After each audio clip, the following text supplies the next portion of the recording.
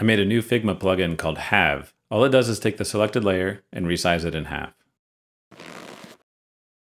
Now the reason I want such a simple plugin is because I often use the Command Shift 4 shortcut on my Mac to get this tool where you can select an area and take a screenshot of it.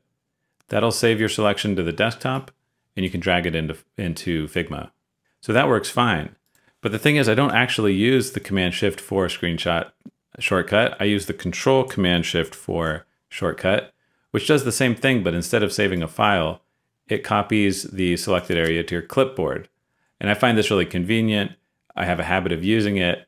I paste screenshots into all kinds of different places, including Figma. But when you do it into Figma, it comes in twice as big as you want it to. This happens if you're taking a screenshot on a Retina display. I don't know why Figma can detect this for saved files, but not for pasted screenshots, but that's why I made this, this plugin. So I'll install the Halve plugin and show you how it works.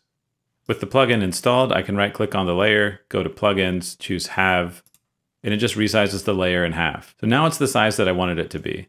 But if you're pretty familiar with Figma, you know you can just come in here to the width and type in divide by two and because the width and the height are linked, that's going to resize it in half.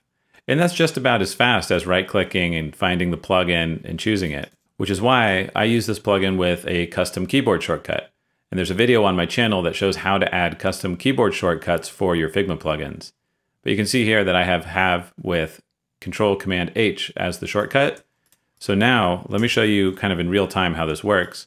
I might come here, take a screenshot, go over to Figma, paste it in, hit the keyboard shortcut, and now it's very quick, very fluid to paste in a screenshot and have it be resized to the correct size. So if I take a screenshot of this little thing, paste it in, hit the shortcut, and there you go.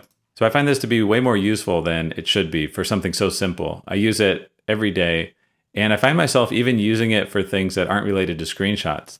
The other day I had an icon in Figma and I wanted to try a different size. And just hitting the shortcut to resize it in half was kind of useful. The shortcut will resize the layer in towards the center, which kind of matches the uh, pasting logic in Figma because it'll kind of paste into the center of your screen. So resizing it also goes towards the center.